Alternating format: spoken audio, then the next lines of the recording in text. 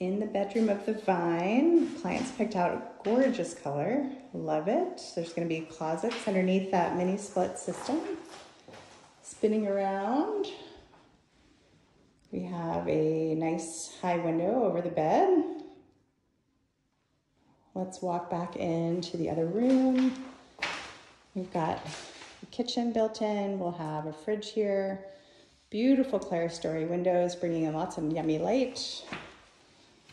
Uh, the bathroom is just getting going. They've got the paper off the concrete floor. They chose a beautiful kind of rich brown color for the concrete slab, integrated color.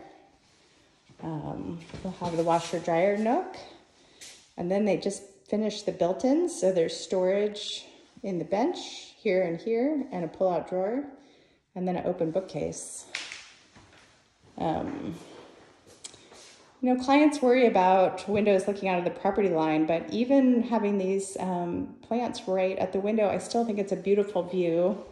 So we're gonna turn around like we're sitting on the sofa.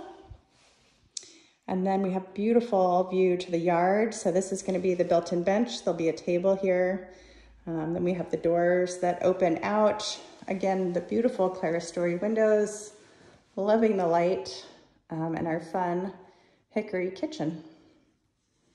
Let's just go outside and I'm gonna show you the um, outdoor siding. We're mostly stucco to match the main house, but then we've added a section of cedar, which is um, really pretty.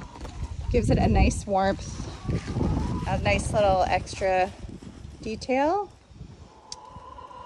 And then there's our chickens. They already had a house here. They didn't need inspired ADUs, um, but I think they're liking it. So the stucco is in the final coat right now, and then it's gonna get its color. So stay tuned to see what that looks like.